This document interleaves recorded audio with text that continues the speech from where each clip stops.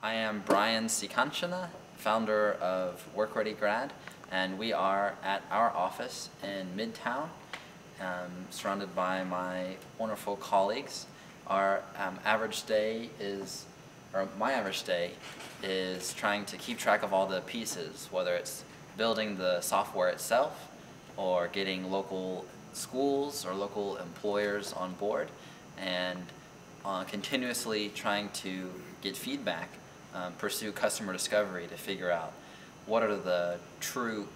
uh, pain points that students are facing and that employers are facing so that we can build a, a platform that addresses both and is a win-win for, for both groups.